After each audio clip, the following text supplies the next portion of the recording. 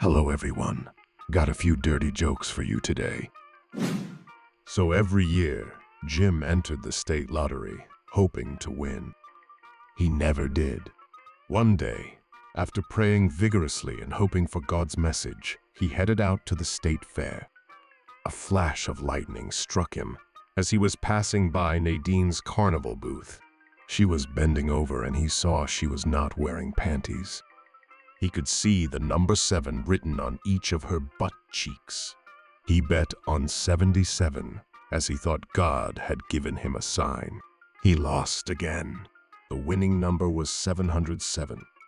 Moral of the story, never underestimate the importance of arseholes in your life.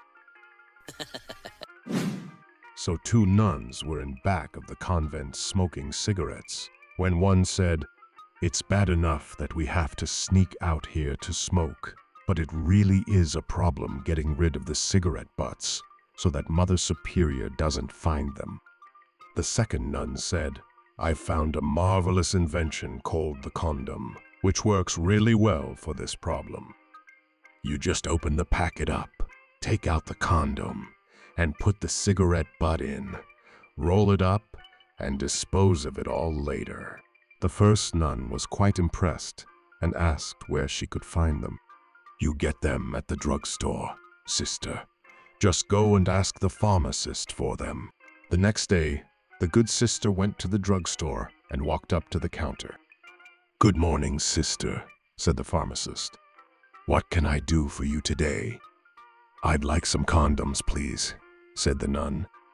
The pharmacist was a little taken aback, but recovered soon enough and asked, How many boxes would you like? There are twelve to a box. I'll take six boxes. That should last about a week, said the nun. The pharmacist was truly flabbergasted by this time and was almost afraid to ask any more questions. But his professionalism prevailed, and he asked in a clear voice, Sister, what size condoms would you like? We have large, extra large, and the big liar size. The sister thought for a minute and finally said, I'm not certain. Perhaps you could recommend a good size for a camel? The pharmacist fainted. so when I was about nine years old, I tagged along with my father to the somber funeral of one of his friends. Being a curious and innocent child, I didn't know the deceased person at all. As I stood in the corner, trying to make sense of the solemn atmosphere, a mysterious stranger approached me. He looked me straight in the eyes and said, Enjoy life. Be happy, because time flies. And then, as if to seal his words with a touch, he gently passed his hand over my head. With that, he vanished into the crowd, leaving me bewildered and pondering his cryptic message. After the service, my father led me to the coffin to pay our respects to the departed soul. But, to my utter horror, I saw that the man lying in the coffin was none other than the very same man who had spoken to me just moments ago. This chilling experience haunted me for many years. I suffered from nightmares, and I couldn't bear to be alone. I had to sleep with a nightlight and I sought help from numerous psychologists to overcome my fears. As I grew older, the nightmares became less frequent, but they never quite disappeared. However, one day, years later, I stumbled upon an astonishing discovery that completely changed my life. The dead bastard had a twin. so a rabbit walks into a grocery store he bangs his paws on the counter and yells, A pound of carrots! The shopkeeper says, I'll get you the carrots, but please don't bang your paws on the counter. The rabbit takes the carrots and leaves. The next day he comes back and again bangs his paws on the counter and yells, A pound of carrots. This time the shopkeeper is more annoyed. I'll get you the carrots, he says, but do not bang your paws on the counter. You are leaving scratch marks. The rabbit takes the carrots and leaves. The next day, he comes back and again bangs his paws on the counter and yells, A pound of carrots. Now the shopkeeper is mad. Listen, he says, I'll get you the carrots. But if you do that one more time, I'm going to nail your paws to the counter. The rabbit takes the carrots and leaves. The next day he comes back. This time, he politely asks, Do you have nails? This is a grocery store, not a hardware store, the shopkeeper replies. Why would we sell nails? In that case, says the rabbit, while banging his paws on the counter, a pound of carrots. so one day, in a classroom, a teacher dedicated to instilling good manners in her students posed a question to test their etiquette. She asked, Michael, if you were on a date having dinner with a nice young lady, how would you tell her that you have to go to the bathroom? Michael, without much thought, replied, Just a minute. I have to go pee. The teacher shook her head and explained that would be rude and impolite.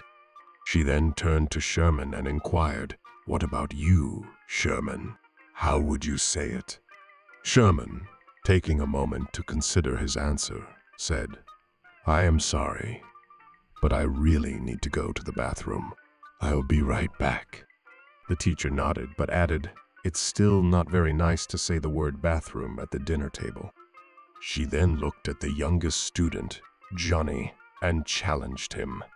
Johnny, can you use your brain for once and show us your good manners? Johnny, with a sly smile, responded, I would say, Darling, may I please be excused for a moment?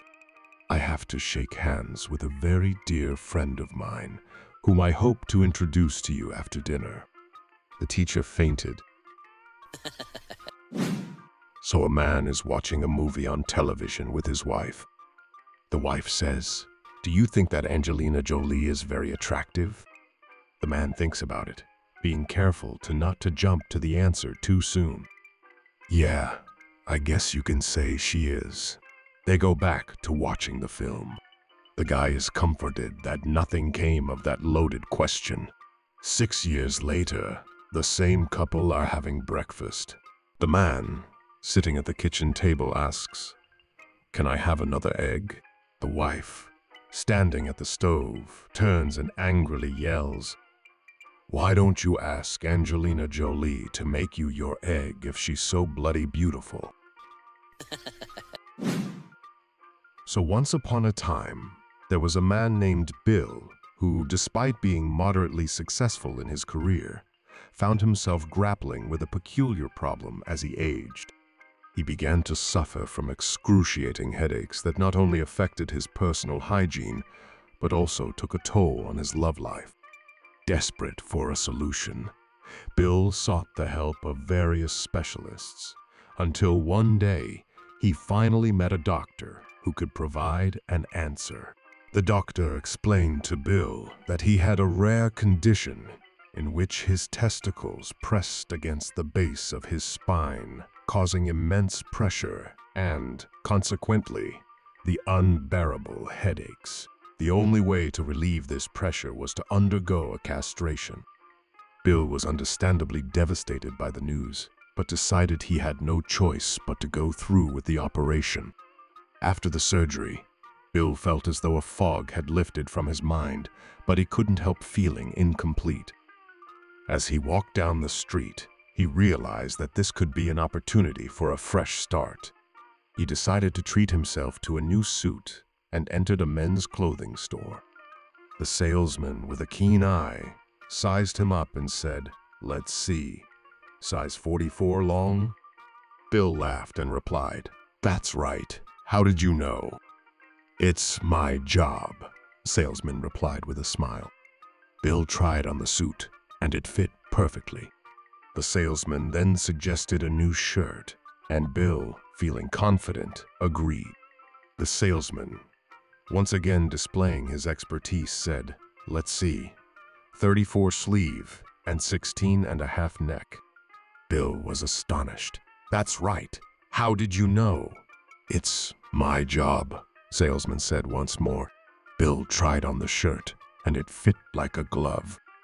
Encouraged by this success, he decided to buy new shoes as well. The salesman, without missing a beat, said, Let's see, nine and a half. Bill was amazed. That's right. How did you know? It's my job, the salesman repeated. Bill slipped on the shoes and found that they were a perfect match.